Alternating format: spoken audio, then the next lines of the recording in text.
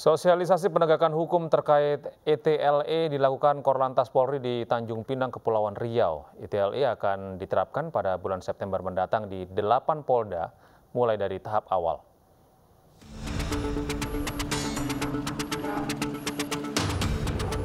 Jajaran Korlantas Polri bertemu Gubernur Kepulauan Riau Ansar Ahmad di Tanjung Pinang terkait kerjasama pengembangan Electronic Traffic Law Enforcement atau ETLE. Selain ETLE juga pengembangan single data regi dan kendaraan sebagai upaya memberikan pelayanan yang lebih baik kepada masyarakat. Dirgakum Korlantas Polri Brigjen Pol Aan Suhanan mengatakan saat ini sudah ada tiga kamera untuk mendukung implementasi ETLE.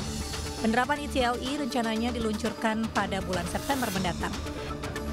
Saat ini kita sudah ada tiga kamera. Tadi Pak Gubernur juga merespon baik ya. Mudah-mudahan dari Pak Gubernur bisa menyampaikan kepada para kepala daerah untuk uh, mensupport ya, uh, mendukung implementasi ETL ini dengan bantuan kamera, bisa kamera statis, kamera mobile, kamera portable. Ini kita sangat membutuhkan itu.